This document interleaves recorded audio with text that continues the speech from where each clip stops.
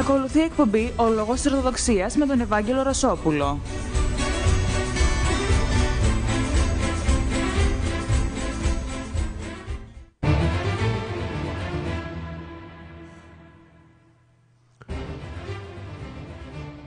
Χριστός Ανέστη, αγαπητοί ακουρατές του Ερευνητικού Οργανισμού Ελλήνων και μετά την Ανάσταση του Κυρίου μας άλλη μια εκπομπή μαζί με μια δια, διακοπή των, της θεματολογίας που κάνουμε να συζητήσουμε τις προφητείες στην Παλαιά Διαθήκη για την Ανάσταση του Κυρίου μας και παρόλο που το κλίμα είναι αναστάσιμο ε, θα συνεχίσουμε όμως τη θεματολογία μας γιατί η εκπομπή αυτή έχει ένα λόγο να υφίσταται για να διαφωτίζει τους ανθρώπους. Να μιλάει και να αναδεικτεί τα προβλήματα της κοινωνίας αλλά και γενικότερα που υπάρχουν όσον αφορά την πίστη μας. Είχαμε σταματήσει τη ροή των εκπομπών στην κατάδειξη των προβλημάτων των, των βιβλίων των θρησκευτικών από τα σχολικά βιβλία. Αυτό θα συνεχίσουμε. Θα συνεχίσουμε σήμερα με τη Δευτέρα Γυμνασίου. Πριν όμως ανοίξω το θέμα, θα θέλω να σας δώσω τον τρόπο επικοινωνίας μαζί μας, που είναι το email μας, το ράδιο παπάκι eoelas.org ή το τηλέφωνο 2313 022 040 ή στη σελίδα μας στο facebook «Ο Λόγος της Ορθοδοξίας». Αυτή είναι η τρόπη επικοινωνίας μαζί μας. Εάν θελήσετε τις παρατηρήσεις σας, σκέψεις σας, τα ερωτήματα τα δικά σας να θέσετε, είμαστε εδώ για να τα συζητήσουμε. Είπαμε λοιπόν ότι θα ασχοληθούμε με το βιβλίο της Δευτέρας Γυμνασίου. Ασχοληθήκαμε και λίγο με την προηγούμενη εκπομπή, αλλά επειδή με την προ-προηγούμενη εκπομπή, συγγνώμη, γιατί όπως είπαμε την προηγούμενη ήταν ε, πασχαλινού περιεχομένου, ασχοληθήκαμε λοιπόν λίγο με το βιβλίο του, της Δευτέρας Γυμνασίου. Σήμερα θα, θα ασχοληθούμε πιο επισταμένα. Θα σας πάω το κεφάλαιο το κεφάλαιο όπως το συνηθίζω σελίδα τη σελίδα για να φωτίσουμε τα γραπτά κείμενα τα οποία είναι πραγματικά μπορώ να πω πολύ προσβλητικά εναντίον και της πατρίδος μας και της πιστεώς μας. Και λέω πρέπει να το φωτίσουμε αυτό το πράγμα γιατί αν δεν το φωτίσουμε κατάλληλα ακόμα και στους μη, στους μη ημένους θα έλεγα. Γιατί μίλησα με ένα δάσκαλο και μου λέει όχι είναι καλό βιβλίο. Λέω έχεις προσέξει διάφορες σελίδες. Τι λέει εκεί, τι λέει εκεί, τι λέει εκεί. Έπρεπε να τις υποδείξω για να καταλάβει ότι είναι πολύ ε, υποβολημία τα κείμενα. Αυτό θα κάνουμε σήμερα. Με αυτό θα ξεκινήσουμε όπως είπαμε και ελπίζω να σας κάνω μετόχους το τι προσπαθούν να περάσουν στα παιδιά μας. Πάμε λοιπόν θρησκευτικά Δευτέρας Γυμνασίου, το σχολικό εγχειρίδιο, θεματική ενότητα πρώτη, μπορούν οι άνθρωποι να εικονίζουν το Θεό. Είναι ένα κεφάλαιο όπου μιλάνε για την οικονομαχία. Πριν ξεκινήσω όμως να αναφέρω για αυτό το κεφάλαιο, θα ήθελα να σας πω ότι ε, όσοι είστε γονείς και έχετε παιδιά και έχουν βιβλία στα χέρια τους, ρίξτε το μια ματιά όλη την εικονογραφία από την αρχή ως το τέλος. Όλη η εικονογραφία είναι πολύ άσχημη, πολύ κακή. Και ενώ από εικόνες Αγίων μέχρι τις παραστάσεις που ε, απεικονίζουν διάφορα πράγματα. Όσοι δεν έχετε παιδιά, μπορείτε να μπείτε στο ίντερνετ και να κατεβάσετε τα βιβλία της Δευτέρας Γυμνασίου και της Τρίτης και των άλλων ε, τάξεων, να ρίξετε μια ματιά στην εικονογραφία. θα δείτε εξοικειώνουν τα παιδιά μας με το, με το κακότεχνο, με το άσκημο. Θέλουν να τα εξοικειώσουν με αυτήν την τέχνη. Δεν έχουν φως, δεν έχουν ζωή αυτές οι εικόνες, δεν έχουν τη χαρά της αγιογραφίας, παραδείγματος χάρη που έχει ορθόδοξη αγιογραφία. Τέλος πάντων, αυτό για να μην λέω κάθε φορά οι εικόνες και οι εικόνες και οι εικόνες, σας λέω από την αρχή ως το τέλος, με εξαιρέσεις, οι εικόνες είναι άσχημες.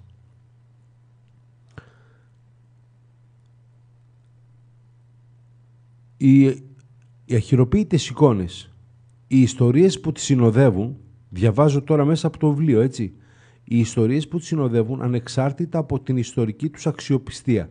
Αυτό είχαμε σχολιάσει και στην προηγούμενη εκπομπή.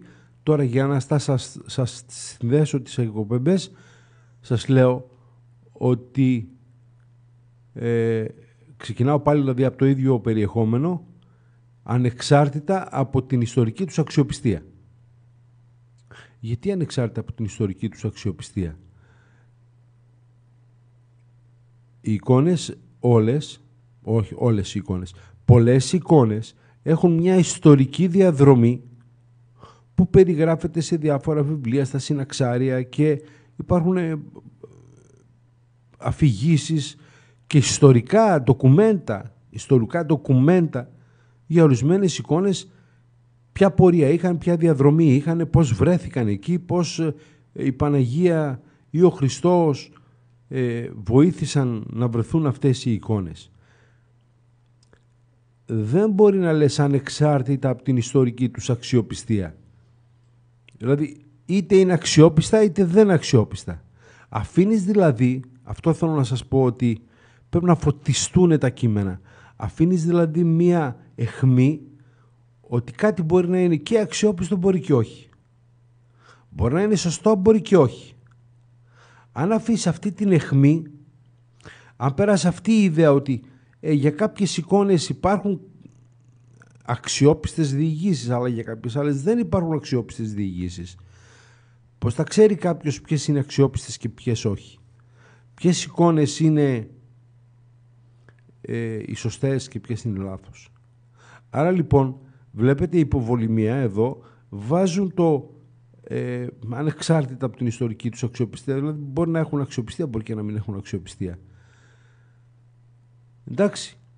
Παρουσιάζουν μετά, όπως σας είπα στις ε, όλες οι εικόνες, παρουσιάζουν το Δομήνικο Θεοτοκόπουλο. Όσοι έχετε ιδέα από Δομήνικο Θεοτοκόπουλο, καμία σχέση με αγιογράφηση. Μπορεί να είναι καλός ζωγράφος ο Δομήνικος Θεοτοκόπουλος, αλλά όχι αγιογράφος. Η αγιογραφία έχει όρους και τρόπους που αγιογραφείς. Δεν αγιογραφείς έτσι και ως έτυχε. εξασκούν τα παιδιά με εκείνη την αναγεννησιακή ε, αγιογράφηση η οποία δεν έχει καμία σχέση με την Ορθόδοξη. Εργασία. Τώρα σε αυτό το ε, όσον αφορά είπαμε τις εικόνες μπορούν οι άνθρωποι να ικανίζουν το Θεό βάζουν εργασία στα παιδιά. Μαύρος, κίτρινος και κόκκινος Χριστός. Εικόνες από όλα τα μέρη του κόσμου. Δεν το κατάλαβα αυτό γιατί να υπάρχει μαύρος, κίτρινος και κόκκινος Χριστός; Πού είναι ο σεβασμός του προσώπου; Παραδείγματος χάρη, αν έπαιρνα εγώ ένα μαύρο και δεν μου άρεσε το χρώμα του και τον έλεγα, ξέρετε, για να σε βγάλω φωτογραφία θα σε κάνω ένα Photoshop και θα σε κάνω άσπρο. Τι θα μου έλεγαν όλοι; Είσαι ρατσιστής; Θες να αλλάξεις το χρώμα του αλουνού; Αυτοί γιατί θέλουν να αλλάξουν το χρώμα του Χριστού; Και δεν κατάλαβα, ο Χριστός είναι ένα ιστορικό πρόσωπο. Μπορείς να τον κάνεις μαύρο; Δεν το καταλαβαίνω καθόλου αυτό. Αν, λέω, λέω τώρα, μια σκέψη. Αν πάρω το Μάρτιν Λούθερ Κίνγκ, το μαύρο που αγωνίστηκε για τα δικαιώματα των μαύρων στην Αμερική και το δολοφόνησαν και τον κάνω λευκό και πω ο Κίνγκ ήταν λευκός. Τι θα μου πούν; Αλλιώνει την ιστορία, δεν θα μου πούν. Έχω το δικαίωμα να το κάνω αυτό. για να παρουσιάσει ότι αυτός που αγωνίστηκε για τους ε, μαύρους ήταν λευκός. Έχω το δικαίωμα να το κάνω αυτό. Σαφώς όχι. Αυτοί γιατί έχουν το δικαίωμα να παρουσιάζουν ένα Χριστό και σας είπα και στα προηγούμενα βιβλία τον παρουσίαζαν ως Ινδιάνο. Με φτερά και πούπουλα τον Χριστό όπως και την Παναγία. Ε, γιατί να παρουσιάσω τέτοιες εικόνες από όλα τα μέρη του κόσμου;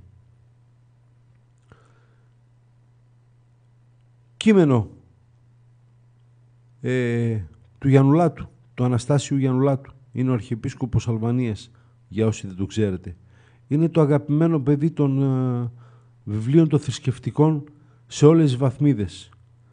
Θα μου πείτε γιατί του Αναστασίου Γιαννουλάτου.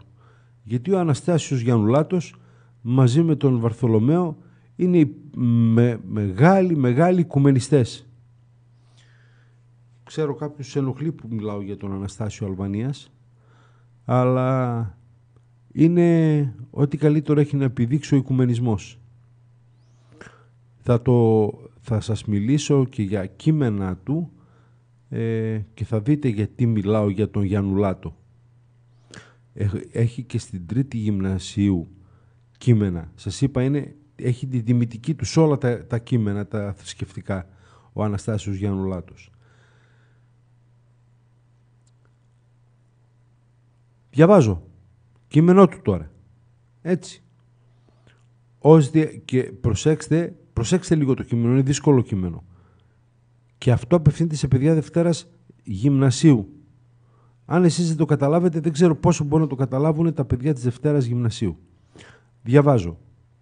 Ως διάσταση βάθους της ανθρώπινης εμπειρίας, η θρησκεία μετάγγισε στην τέχνη τη λαχτάρα για βαθύτερη κατανόηση της ζωής και με τη φορά της προς το επέκεινα, προς τη συνεχή αυθυπέρβαση του ανθρώπου, ανοίγει διάκοπα νέους ορίζοντες και προοπτικές. Καταλάβατε τίποτα; Όχι θα μου πείτε. Ε, σαφώς. Γι' αυτό ύστερα τα βιβλία τα κάνουν τόσο να τα αποστρέφονται τα παιδιά, γιατί δεν καταλαβαίνουν τίποτα. Τι διάσταση βάθους, τι εμπειρίες, τι επέκεινα, τι νέους ορίζοντες, τι αυθυπέρβαση.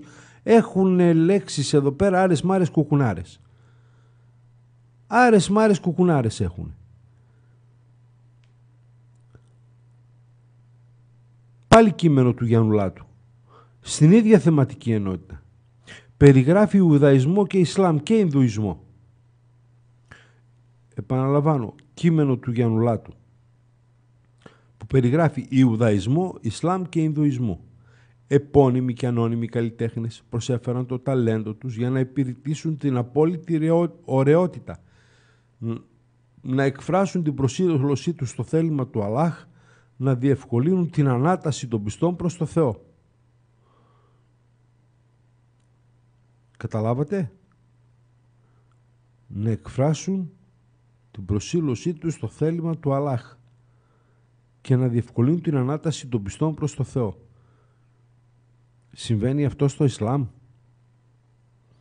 Ανεβαίνουν πνευματικά το Ισλάμ; Γιατί εγώ κάτι άλλο κατάλαβα βυθίζονται στο σκοτάδι όσοι είναι στο Ισλάμ. Απόδειξη. Γιατί πάντα με αποδείξεις θα μιλάμε. Τι έκαναν στα μουσεία της Συρίας οι Ισλαμιστές. Το είδατε όλοι στους, στους δέκτες των τηλεοράσεών σας. Κατέστρεψαν τα μουσεία. Ό,τι ωραίο από τέχνη υπήρχε, το κατέστρεψαν. Αν αυτό ο κύριος Γιαννουλάτος το λέει ότι ανεβάζει το Ισλάμ, ας τους χαρεί. Ως εκεί θα σταματήσω. Δεν θα το σχολιάσω παραπάνω γιατί θα πω και λέξεις που δεν θέλω. Θεματική ενότητα δεύτερη. Ποιος είναι ο Θεός των χριστιανών; Παρουσιάζει λοιπόν ποιος είναι ο Θεός των χριστιανών, όχι μόνο από την πλευρά των χριστιανών όμως, αλλά και από την πλευρά των πολεμίων και έχει ένα κείμενο του Κέλσου.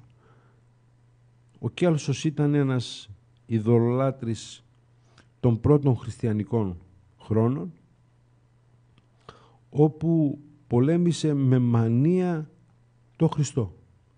Ο Κέλσος όμως, προσέξτε, από τους εχθρούς σου πολλές φορές μπορείς να πάρεις πιστήρια. Μπορεί να, ο Κέλσος να πολέμησε τον Χριστό αδυσόπιτα πουθενά δεν τον αφισβήτησε.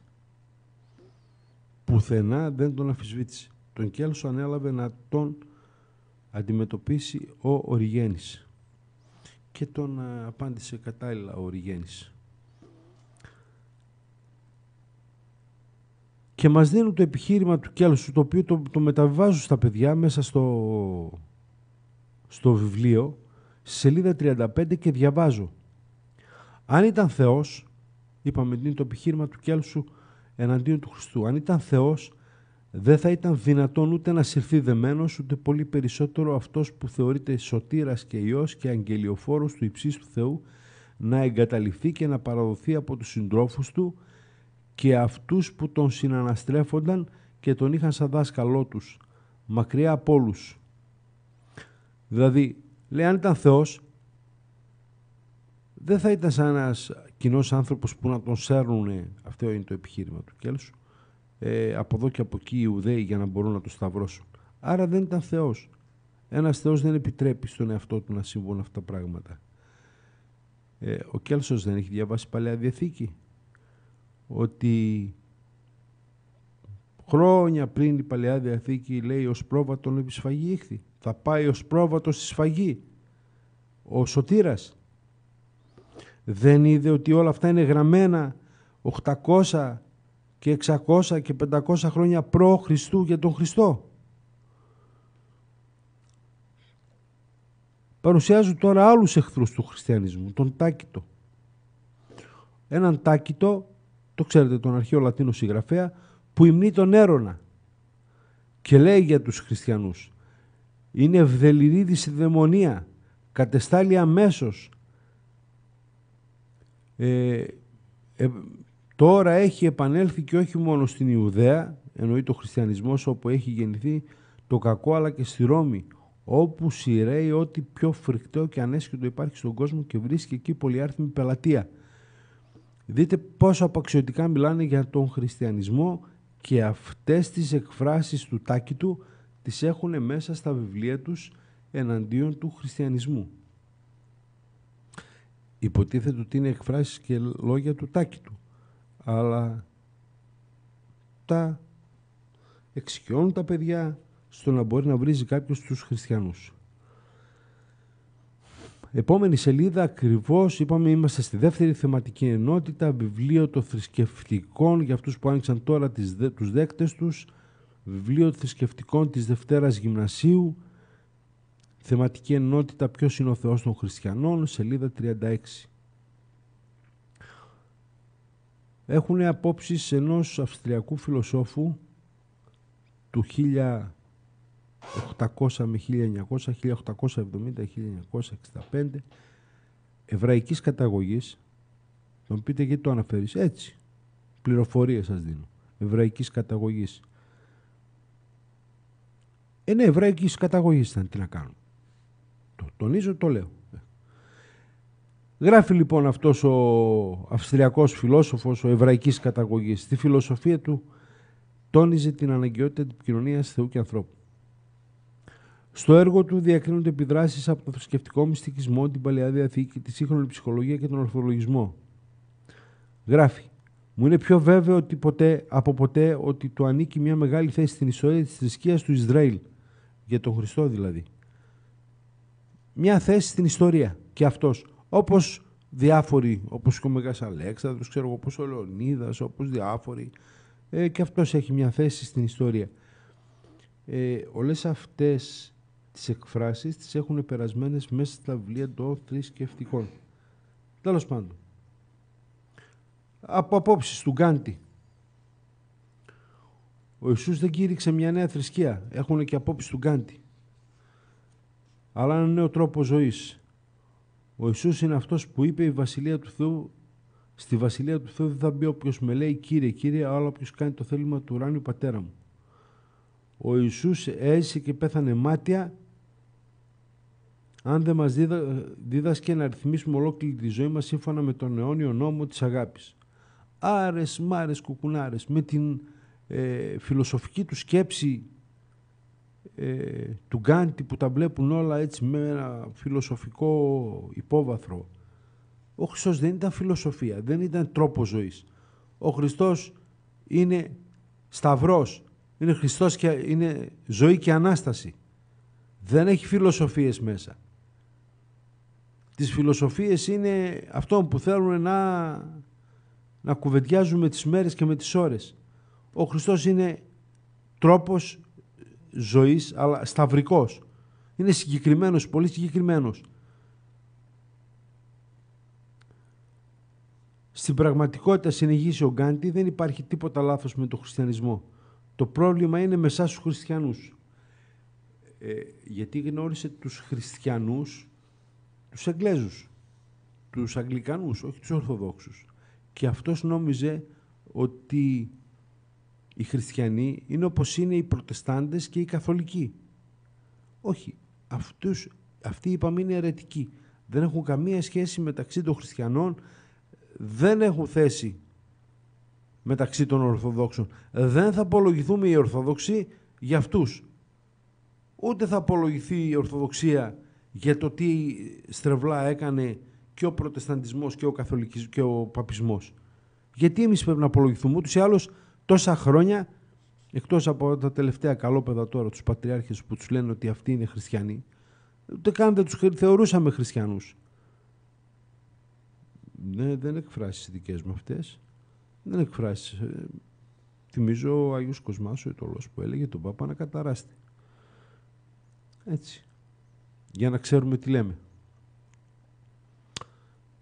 Συνεχίζουμε στην ίδια θεματική ενότητα υπενθυμίζω, θεματική ενότητα, ποιος είναι ο Θεός των χριστιανών, έχουν και ένα ε, κείμενο του Καζαντζάκη. Τον πρόλογο από τον τελευταίο πειρασμό. Παιδιά τρελαθήκατε. Είστε συγγραφείς σχολικών βιβλίων και διαβάζετε Καζαντζάκη στη Δευτέρα Γυμνασίου. Αυτόν το βλάστημο, ο οποίος, δηλαδή, να φρικάρεις είναι στην ιδέα και μόνο ότι ο Χριστός ήταν σταυρωμένος και πάνω από το σταυρό κοίταζε τον μπούστο της Μαγδαληνής. Ρε ψυχανόμαλη. Μπορεί ένας άντρας, ένας άνθρωπος να είναι σταυρωμένος πάνω στο σταυρό με περασμένα καρφιά και να έχει πειρασμούς; Πόσο φρίκη στη σκέψη κάποιων ανθρώπων υπάρχει. Και εντάξει υπάρχει φρίκη στη σκέψη του Καζαντζάκη. Πόσο φρικτή είναι η σκέψη να περνάνε τον Καζαντζάκη σαν συγγραφέα στα σχολικά βιβλία. Έτσι. Τώρα αξιολογήστε τους συγγραφείς πόσο ορθόδοξοι είναι και πόσο χριστιανοί είναι όταν βάζουν κείμενα του Καζαντζάκη για τον Χριστό. Στην ίδια θεματική ενότητα έχουν μια απαράδεκτη εικόνα της γεννήσεως για τα Χριστούγεννα. Αυτή με τον Ιωσήφ κοντά στη Θεοτόκο. Είναι τα, η τελευταία μόδα και το κυκλοφόρησαν Αγία Οικογένεια. Γι' αυτό σας είπα ορισμένα πρέπει να φωτιστούν, να σας τα δείξουμε, να τα δείτε κι εσείς από άλλο παράθυρο για να καταλάβετε. Δείχνουν δίπλα-δίπλα τον Ιωσήφ, όχι υπέργυρο όπως είναι στην Ορθόδοξη Αγιογραφία και μακριά από τη Θεοτόκο, που θέλει να δείξει ότι ήταν υπέργυρος ο Ιωσήφ και ήταν μακριά από τη Θεοτόκο, δεν συμμετείχε στη γέννηση του Χριστού. Τώρα τους βάζουν δίπλα-δίπλα, σαν να φωτογραφίζεται ένα κανονικό ζευγάρι, έχοντας αγκαλιά τους και ανάμεσά τους τον Χριστό. Και κυκλοφορούν αυτές οι εικόνες, είναι η Αγία Οικογένεια. Που σημαίνει ότι πλάγια-πλάγια πάνε να περάσουν την ιδέα ότι ο, ο Ιωσήφ ήταν κανονικός σύζυγος της Θεοτόκου και όχι είπαμε υπέργυρος, εντάξει, λίγο μεγαλύτερός της. Καταλάβατε, βλαστημούν τη Θεοτόκο, βλαστημούν και τον Χριστό. Πρέπει να τα δείτε αυτά, να τα καταλάβετε. Μην νομίζετε ότι είναι αγαπούλιδες και τον Ιωσήφ τον είχαμε μακριά και τον είχαμε τιμωρία από την ε, Ορθόδοξη Αγιογραφία. Και τώρα αυτοί οι αγαπούλιδες δεν είναι σωστό να τον έχουμε μακριά από ξενωμένο τον Ιωσήφ, να τον βάλουμε κοντά. Και δε πέρα που τον βάλαν κοντά, τον κόψαν και χρόνια. Τον κάνανε και του σάρισμα. Ηλικιακό. Facelifting τον κάνανε. Δηλαδή εκτός από βλάστημοι αλλάζουν και την ιστορία. Είναι και ψευδολόγοι. Είναι πλαστογράφοι. Είναι χίλια δυο. και για, όλους σας, για όσους έχετε στο σπίτι σας τέτοιες εικόνες να τις απομακρύνετε είναι καλό. Να τις κάψετε. Να τις κάψετε τις εικόνες αυτές. Και μην τσιμπάτε με την Αγία Οικογένεια. Είναι τελείως βλάστημη και εναντίον του Χριστού και εναντίον της Παναγίας. Λοιπόν, συνεχίζουμε λίγο παρακάτω. Λέει το Κοράνι, βάζει, έχει απόσπασμα από το Κοράνι που μιλάει όπως είπαμε για τη θεματική ενότητα ποιος είναι ο Θεός των χριστιανών και πώς τον βλέπει το Κοράνι. Δηλαδή τι λέει το Κοράνι για τους χριστιανούς; Ε, είναι απόσπασμα μια σούρα, σας διαβάζω από το Κοράνι. Εμείς σκοτώσαμε τον Μεσσία Χριστό, το γιο της Μαρίας, τον Απόστολο του Θεού. Όχι, δεν το σκότωσαν, δεν σταύρωσαν τον ίδιον, αλλά κάποιον που του έμοιαζε. Λέει το Κοράνι δηλαδή. Το σταύρωσαν τον Χριστό, οι Εβραίοι. Όχι, λέει, δεν το σταύρωσαν, κάποιον που του έμοιαζε. Όσοι αφισβήτησαν την άποψη αυτή παρέμειναν και οι ίδιοι γεμάτοι αφιβολίες. Δεν ήταν βέβαιοι. Βέβαιοι. Γι' αυτό αλλά, άλλα διατυπώνουν. Στην πραγματικότητα αυτοί δεν, σκο, δεν σκότωσαν τον Ιησού. Τι καταλάβατε; Τίποτα. Ναι. Αχ, τίποτα δεν καταλάβετε. Φανταστείτε τα παιδιά της Δευτέρας Γυμνασίου. Ε, το Κοράνι μιλάει τώρα εδώ αν οι Εβραίοι σκότωσαν δεν σκότωσαν τον Χριστό. Εδώ όμως θα κάνουμε ένα μικρό διάλειμμα ε, για τα απαραίτητα διαφημιστικά σε λίγο πάλι μαζί.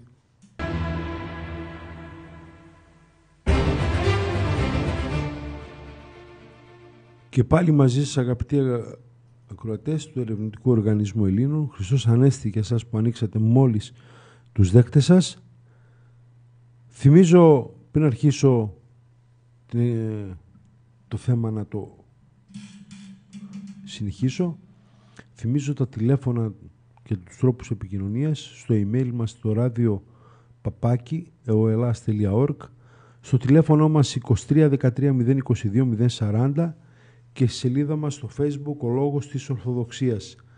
Και μπορείτε από το αρχείο του ραδιοφώνου στα multimedia, στο αρχείο των ραδιοφωνικών εκπομπών να βρείτε όποια ραδιοφωνική εκπομπή θέλετε προηγούμενη ε, οι οποίες ανεβαίνουν και έτσι είναι στην ευχαίρειά σας να ακούσετε και μια άλλη εκπομπή ή να πείτε σε κάποιον φίλο σας, γνωστό σας άκουσέ την για να ανοιχτούν και αυτούν τα μάτια. Θα το πάω λίγο πιο γρήγορα το δεύτερο μισάωρο γιατί τελικά ε, έχω να πω πάρα πολλά και δεν προλαβαίνω τελικά να πω αυτά που πρέπει να υποθούν. Παρασύρωμαι κι εγώ. Ε, μείναμε στο τι λέει το Κοράνι για το Χριστό. Και έχουν λοιπόν βλάστημες εκφράσεις από το Κοράνι μέσα στο βιβλίο των, των θρησκευτικών της Δευτέρας Γυμνασίου βλάστημες εκφράσεις για τον Χριστό και για την πίστη μας. Λέει τώρα το Κοράνι. Σας διαβάζω άλλα αποσπάσματα για να προλάβουμε λίγο να το πάμε γρήγορα. Πιστεύουμε στο Θεό και σε ό,τι αποκαλύφθηκε στο Μωυσή, στον Ιησού, στους προφήτες.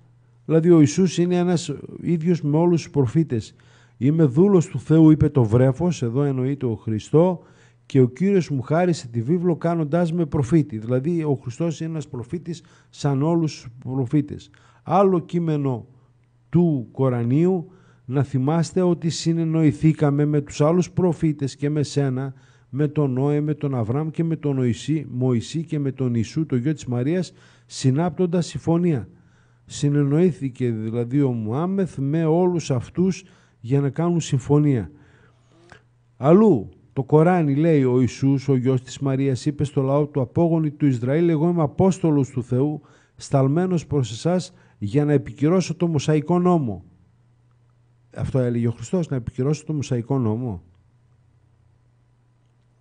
Που στάλθηκε πριν από μένα και να σας προαναγγείλω τον ερχομό και άλλου Αποστόλου, μετά από μένα, το οποίο το όνομά του θα είναι Αχμέτ, ένδοξος δηλαδή.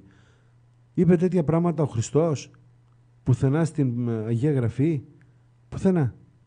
Βλέπετε πως το Κοράνι είναι μια διαστρέβλωση των πραγμάτων.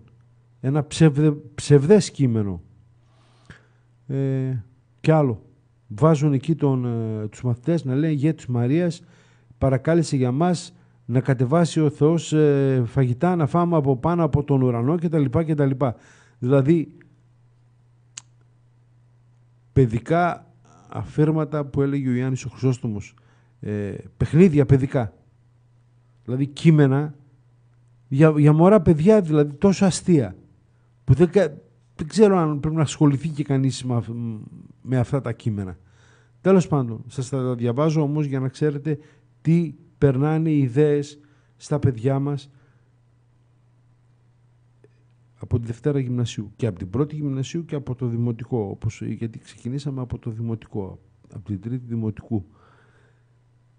Πάμε θεματική ενότητα 3, ποιος είναι ο άνθρωπος. Στη σελίδα 61 έχω μια φωτογραφία του Batman. Αυτό του μαύρου σατανά. Θα μου πείτε γιατί τον χαρακτηρίζει έτσι. Ε, κουκουλοφόρος. Πουθενά ο άνθρωπος δεν πρέπει να είναι με σκεπασμένο το πρόσωπο. Ευθύ, ευθές πρέπει να είναι ο λόγος του, ευθύς ο λόγος του και με το πρόσωπό του να μιλάει. Όχι με καλυμμένα πρόσωπα. Ο οποίος όμως, ο Μπάτμαν, είναι με απλωμένα χέρια. Είναι όπως περίπου ο Χριστός στο Σταυρό. Έτσι, για το... για να το δείτε. Όπως επίσης και του Mickey Mouse. Εντάξει. Και μετά έχουν πάλι μια, ένα κείμενο του Νίκου Καζαντζάκη. Σας είπα, Καζαντζάκης και Γιαννουλάτος έχουν τη τιμητική τους σε όλα τα ε, σχολικά εγχειρίδια. Ε, είχα και κείμενα περσών ε, δασκάλων και ποιητών που τα περνάνε μέσα και κάθονται τα παιδιά μας τώρα να διαβάζουν τις άρες μάρες κουκουνάρες των, πεσών, των περσών ποιητών και επίσης έχει για τον Ινδουισμό ε, διάφορα κείμενα. Πώς μπορεί ένα παιδί να σας διαβάσω ένα κείμενο από τον Ινδουισμό και αν καταλάβετε τίποτα εσείς ε, ε, να σας πω δυσκολεύτηκα και εγώ στη θεολογία όταν έφτασα στον Ινδουισμό. Και εγώ δυσκολεύτηκα. Στην...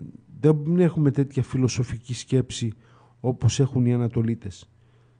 Είναι κάτι πολύ περίεργο. Το Άτμαν. Έτσι. Είναι οι, οι πολλαπλές διαφοροποίησεις του ενός. Είναι το αόρατο τμήμα της ανθρώπινης ύπαρξης. Στο σύμπαν υπάρχει ένα μόνο Άτμαν. Τα άλλα, τα επιμέρους άτμαν, αποτελούν απλές διαφοροποιήσεις του ενός. Το ατομικό άτμα παίρνει διαδοχικά διάφορες μορφές ύπαρξης και μπορεί να ενσωματώνεται σε έναν άνθρωπο ανώτερης ή κατώτερης τάξεως, αλλά ακόμα και σε ένα ζώο ή και σε ένα φυτό. Το αν μετά τον υλικό θάνατο μια ύπαρξη θα μετεσωματωθεί σε ανώτερη ή κατώτερη μορφή εξαρτάται από την ποιότητα των έργων και από το κάρμα. Ε, αυτά είναι κείμενα, ναι, μην είναι για το Άτμαν, αλλά είναι από το βιβλίο του Αλβανίας, ε. Να μην ξεχνιόμαστε, ε, για να σας θυμίζω και ορισμένα πράγματα. Καταλάβατε τίποτα, δεν καταλάβατε. Γι' αυτό δεν σας διαβάζω παρακάτω που έχει για τη Σαμψάρα, για το κάρμα, για τον ε, Ινδουισμό και θα σας μπερδέψω, θα το, θα το χάσουμε το παιχνίδι, θα το χάσουμε κυριολεκτικά, θα το χάσουμε. Λοιπόν, έχει μετά, αφιερώνει πολλές σελίδες, πάμε σελίδα 78, έχει για τον Βουδισμό, έχει για τον Κομφούκιο, ε, έχει για τον Κρίσνα. Πού θα τα καταλάβουν όλα αυτά τα παιδιά; Ένα χταρμά θα τα κάνουν μέσα στο μυαλό τους. Αυτή η ηλικία της Δευτέρας Γυμνασίου των 13, των 14, τον θέλει ξεκάθαρα πράγματα. Θέλει α, β, άσπρο μαύρο. Δεν έχουν τόσο πολύπλοκη σκέψη τα παιδιά σε αυτή την ηλικία ώστε να μπορέσουν να αντιληφθούν το τι ακριβώς είναι όλα αυτά τα πράγματα. Εδώ φοιτητές που πάνε 18 και 19 χρονών στη θεολογία και δεν κατανοούν τι είναι όλα αυτά τα πράγματα των ανατολικών θρησκειών. Εμένα προσωπικά ήρθαν και μου πήγαν πολλοί φοιτητές και μου είπαν δυσκολευόμαστε με αυτά τα πράγματα. Δεν μπορούμε να τα καταλάβουμε. Ε, προσπάθησα κι εγώ όσο μπορούσα να το κάνω πιο απλό. Δεν γίνεται όμως και πολύ. Δεν γίνεται και πολύ. Είναι έξω από τη δικιά μας φιλοσοφία. Και δεν είναι, δεν είναι θέμα φιλοσοφίας τελικά. Είναι θέμα πολλές βλακίες μαζεμένες. Πολλές βλακίες μαζεμένες. Που σε τελικά τόση ανοησία δεν θες ούτε να την εξηγήσεις. Μα τόση ανοησία. Δεν θες ούτε καν να την εξηγήσεις. Γι' αυτό τα παρατρέχω όλα αυτά εδώ. Έχουν πολλές σελίδες. Αν έχετε κουράγιο και κάθεστε να τα, θέλετε να τα διαβάσετε, ε, μιλάει για τον Ιδωισμό, όπως σας είπα, για τον Βουδισμό, για το Κομφούκιο, για το Κάρμα, για το Σαμψάρα. Όλες αυτές τις ανοησίες των, ε, των, των Ανατολικών. Πάμε. Σελίδα 82 θεματική ενότητα εμείς και οι άλλοι μέχρι την 103 δηλαδή περίπου 20 σελίδες είναι αφιερωμένοι εμείς και οι άλλοι το εμείς και οι άλλοι σαν θέμα ακούγεται καλό αλλά ουσιαστικά εδώ είναι ε, υπέρ, υπέρ του λαθρομεταναστευτικού κινήματος. Ο, ε, εναντίον δηλαδή όλων των λάθρων. Είναι υπέρ δηλαδή. Προσπαθούν να τους βγάλουν όλα καλά. Όλοι η ενότητα αυτές οι 20 σελίδες εκεί είναι... Εκεί στρέφονται, εκεί προσανατολίζονται. Διαβάζουμε. Σελίδα 82 όπως σας είπα. Η αύξηση της ξενοφοβίας είναι μια ανησυχητική ένδειξη για την κοινωνία μας και από εκεί και μετά για τους μετανάστες. Λοιπόν, άρα μην είστε ξενοφοβικοί. Προσέξτε όμως, ό,τι είναι ε, που θέλουν να προσβάλλουν τον κόσμο βάζουν τη λέξη φόβος. Είσαι φυσιολογικός άνθρωπος. Ενώ τώρα με σεξουαλική προτίμηση. Είσαι φυσιολογικός άνθρωπος. Είσαι ομοφοβικός. Είσαι διεστραμμένος, είσαι φίλος. Είσαι ομοφιλό φίλος. Προσέξτε πώς χρησιμοποιούν τους λέξεις εκ του πονηρού. Ό,τι είναι φυσιολογικό είναι φοβικό. Ό,τι είναι διεστραμμένο είναι φιλικό. Προσέξτε. Κάποιος που είναι με τα παιδιά. Είναι διαστραμμένος με τα παιδιά. Τι το λένε; Παιδόφιλο. Άρα όταν είσαι φυσιολογικός τι είσαι; Παιδοφοβικός. Μην χρησιμοποιήσετε τις λέξεις όπως σας περνάνε. Μην χρησιμοποιείτε τις λέξεις όπως σας περνάνε. Οι διεστραμμένες λέξεις έχουν τη λέξη, οι διεστραμμένες άνθρωποι και οι διεστραμμένες πρακτικές έχουν τη λέξη μέσα φίλος. Και ό,τι είναι σωστό είναι φοβικός. Έτσι. Για να συνεννούμαστε. Γι' αυτό λέω, μας περνάνε ιδέες και διάφορες μέσα στο, στο μυαλό και μετά εμείς αισθανόμαστε ένοχοι γιατί έτσι είπανε, ότι είσαι φοβικός. Δηλαδή άμα ε, ένας άντρας επιθυμεί μια γυναίκα, αυτό είναι ομοφοβικός. Πώς τα βγάζουν αυτά, τέλος πάντων. Ας ε, φύγω από αυτό το θέμα να προλάβω να σας τα πω. Ε, μέρα κατά του ρατσισμού η σημερινή αναβάθμισα σε σιδερένιο δόγμα τα λεγόμενα του Αρτήρ Κομπινό περί της ανισότητας των, ανθρώπων, των ανθρωπίνων φυλών. Αυτό το περί ανισότητας είναι τίτλος του δοκιμίου που εξέδωσε ο Γάλλος διπλωμάτης για να υποστηρίξει την ανώτερη της Άριας Φυλής και ιδίως των αμόλυντων μελών της. Λοιπόν, βλέπετε η ιδέα της ανώτερης ε, φυλής υπήρχε στους Γάλλους πρώτα από το 1853, δηλαδή έναν αιώνα προηγήθηκαν του ε, Χίτλερ περί αρίας φυλής. Και επειδή υπήρχαν τέτοιοι Γάλλοι στην, ε, τέτοιο, προσπαθούν να μας πούνε ότι οι Λευκοί λίγο πολύ είμαστε σαν τον ε, Κομπινό, ο οποίος πιστεύει στην ανισότητα των ανθρώπινων φυλών. Αυτά τα κάναν κάποιοι διαστραμμένοι Γερμανοί ε, των διαστραμμένων Γάλλων.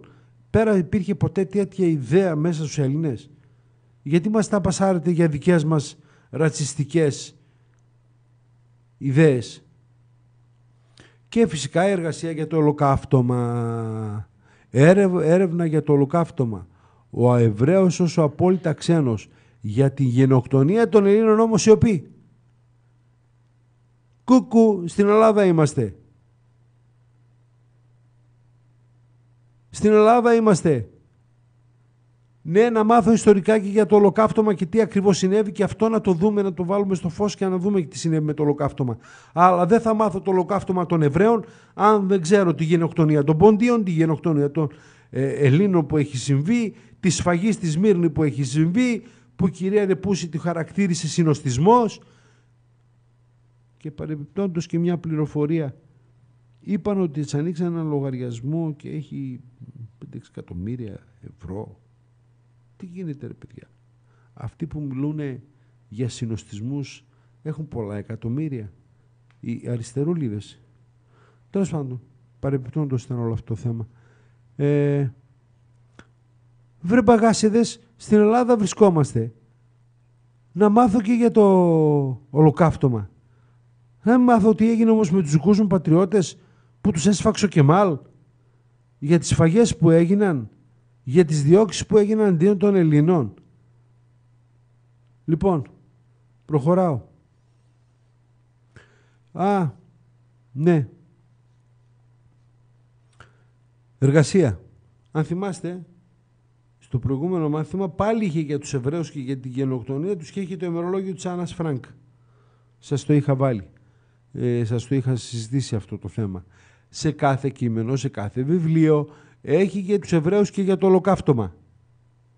Φτάνει ρε παιδιά, φτάνει, είπαμε η επανάληψη είναι η μητέρα της μαθήσεως, αλλά αυτό πλέον καταντάει ε, προβοκάτσια.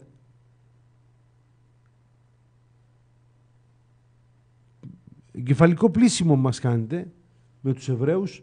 Ξέρουμε τι πάθανε, αλλά ξεπερνούμε να μάθουμε και τι πάθανε και οι Έλληνες.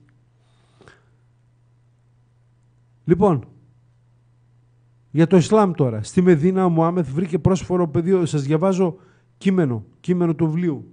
Σας τα πάω λίγο γρήγορα για να προλάβω να σας τα πω. Δεν θα προλάβω να σας τα πω. Πάλι. Έχει λοιπόν ε, κείμενο για το... Στο βιβλίο μέσα είπαμε. Στη θεματική ενότητα εμείς και οι άλλοι. Ο Μωάμεθ βρήκε πρόσφορο έδαφο δράσης ε, στη Μεδίνα και εδώ στην πραγματικότητα συνέπηξε την πρώτη θεοκρατική κοινότητα του Ισλάμ. Στη Μεδίνα ο Μουάμεθ και ο Απόστολος του Θεού, από Απόστολος του Θεού και προφήτης μεταβάλλεται σε ένα πολιτικό αρχηγό. Από τη στιγμή αυτή και εφ' εξής αφυπνίστηκε μέσα από το ενδιαφέρον να αποκτήσει δύναμη, να διευρύνει την κοινότητά του και να αναδείξει το Ισλάμ σε ισχυρή θεοκρατία. Έτσι το κατοπινό Ισλάμ που εξαπλώθηκε στις γύρω από την Αραβική Χερσόνησο χώρες έφερε όχι μόνο θρησκευτικό αλλά και πολιτικό χαρακτήρα. Και αυτή είναι η φύση του Ισλάμ έως σήμερα. Αυτό είναι απόσπασμα από τους Γιάκα του βιβλίου του καθηγητού του Πανεπιστημίου «Το Ισλάμ ως θρησκεία».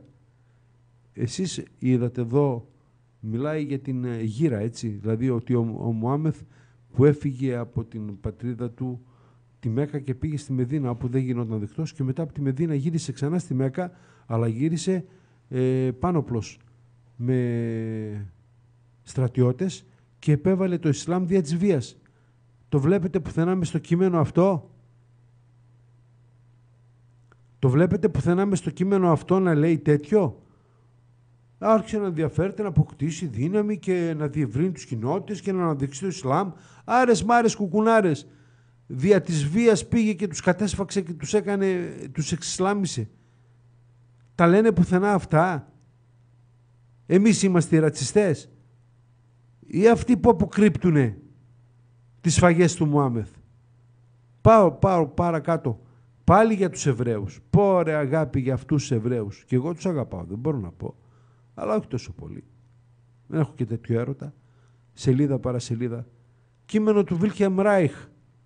Άκου ανθρωπάκο. Ένα κείμενο του Βίλχεμ Ράιχ, ο οποίος ουσιαστικά υποστηρίζει τους Εβραίους.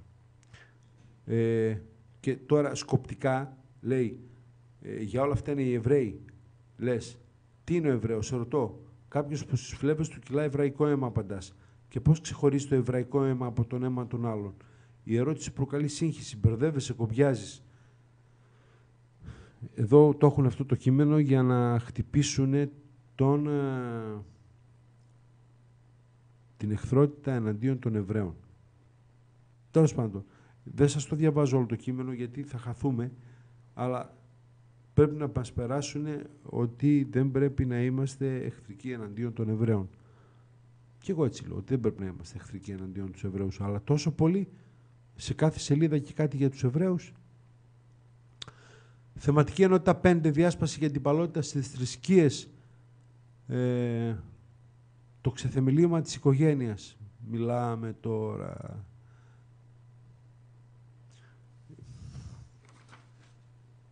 Δεν ξέρω αν πρέπει να σας... Ε, θα σας το πω όμως το κείμενο, γίνει για την οικογένεια. Η πατρική εξουσία, τώρα, είναι ένα κείμενο που μιλάει για την ε, οικογένεια του παλιού καιρού.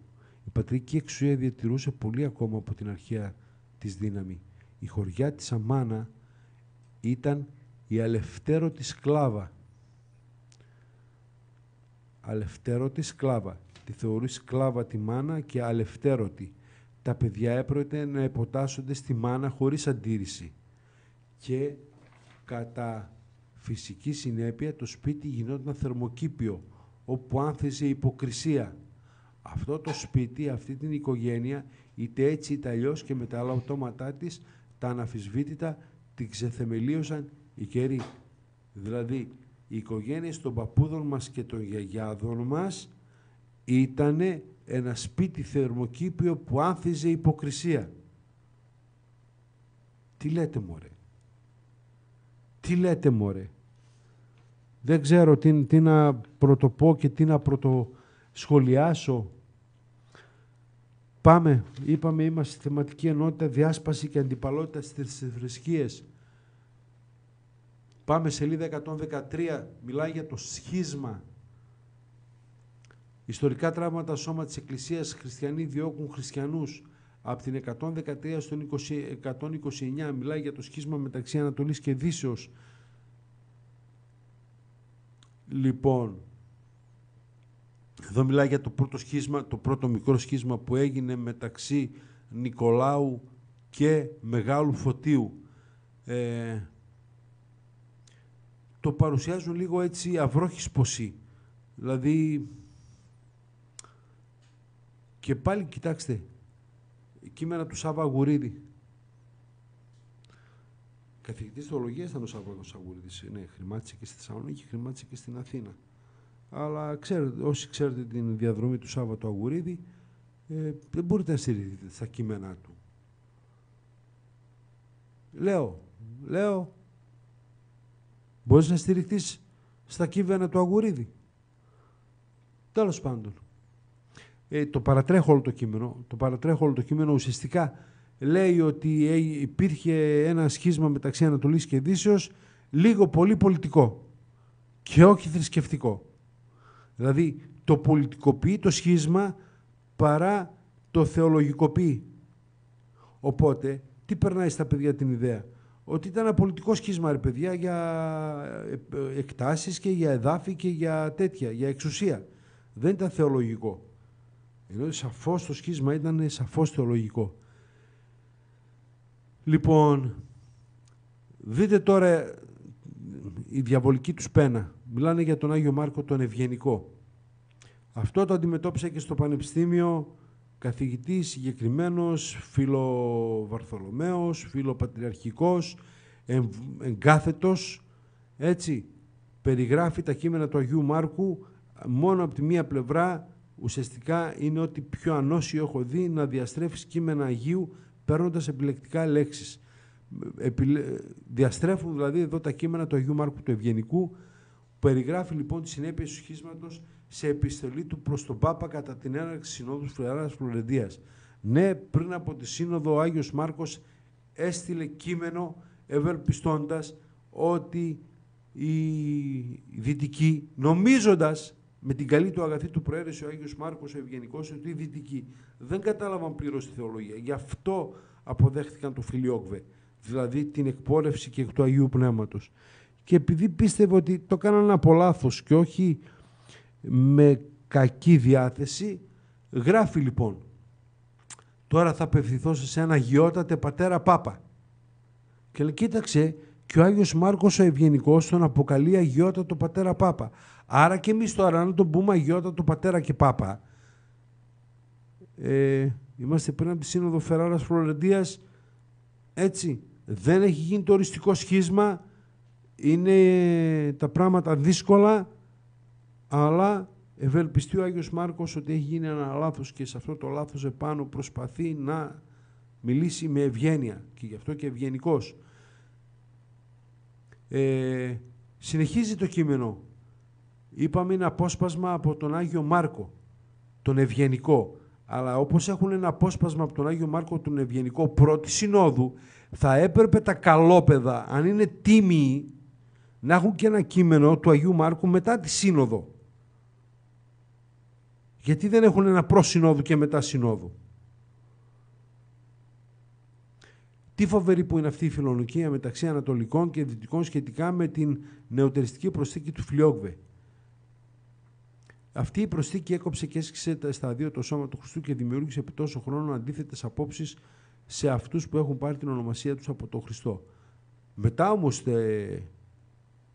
εδώ πάλι ο Άγιος Μάρκος λέει, ο, ο Ευγενικός, μιλάει για το Φιλιόκβε.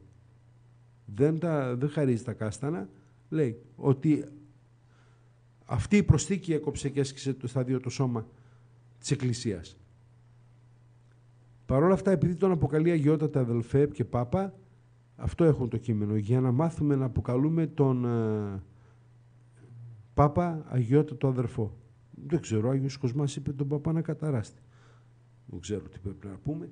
Αλλά μετά από τα κείμενα της Συνόδου, ο Άγιος Μάρκος Ευγενικός καταχαιριάζει με πάρα πολύ άσχημα τον Πάπα και λέει είναι σαν το φίδι να τον απο, αποφεύγεται. Γιατί υπέστη τα πάνδυνα στην, ε, στη σύνοδο αυτή. Ε, μιλάει για την Ιερά Εξέταση. Λες και την, ε, για την Ιερά Εξέταση ευθύνονται οι Ορθόδοξοι. Όχι. Να πείτε κύριε για την Ιερά Εξέταση ευθύνεται ε, ο Παπισμός και ο Προτεσταντισμός. Αυτοί οι δυο τους ευθύνονται για, τις, ε, για τη Ιερά Εξέταση και έχουν ε, τους εκπροσώπους όλων των θρησκειών στην Ασίζη το 1986 να προσεύχονται όλοι μαζί ε, στην Ασίζη της Ιταλίας. Λοιπόν, πού προσευχηθήκατε ρε παλικάρια όλοι μαζί, Ινδιάνοι, ε, Ινδουιστές, Κομφουκιστές, ε, Παπικοί, Προτεστάντες, ε, Ορθόδοξοι, πού προσευχηθήκατε, σε ποιον Θεό; Όλοι μαζί, για να κάνει τι, για να φέρει αυτός ο Θεός την ειρήνη, υπάρχει τέτοιος Θεός; Τέλος πάντων, και δήλωση ε, του Πάπα Ιωάννη Παύλου και με αυτό θα κλείσω. Ε, για πρώτη φορά στην ιστορία έχουμε συγκεντρωθεί από κάθε μεριά χριστιανικές εκκλησίες και εκκλησιαστικές κοινότητες και παγκόσμιες θρησκείες σε αυτόν τον ιεροτόπο που είναι αφιερωμένο στον Άγιο Φραγκίσκο, στον Άγιο Φραγκίσκο των Δυτικών και ήταν και Ορθόδοξοι μέσα μαζί. Αυτή ήταν η ομιλία του Ιωάννη Παύλου του Πάπα ε, και το περνάνε αυτά τα κείμενα στα παιδιά μας για να μάθουμε και τα κείμενα του αγαπημένου μας και φίλου μας Πάπα, να μην είμαστε ρατσιστές, να τον αγαπάμε, να, τον, ε, να κάνουμε αντίθετα από ό,τι λέει ο Άγιος Μάρκος που είπε να τον καταράστε. Τέλος πάντων, εμείς θα κάνουμε τα διαφορετικά μας. Ε, εδώ θα σας καληνυχτήσω, θα σας ευχηθώ και πάλι Χριστός Ανέστη. Στην επόμενη εκπομπή θα σας έχω την τρίτη γυμνασίου, όπου εκεί σας έχω πάρα πολλές ωραίες εκπλήξεις και surprise. Θα το ευχαριστηθείτε. Ε, ελπίζω να μην σας γέμισε κατάθλιψη και ούτε και στην άλλη εκπομπή θέλω να το κάνω αυτό. Καλό σας βράδυ, Χριστός Ανέστη. Θα τα πούμε την ερχόμενη εβδομάδα.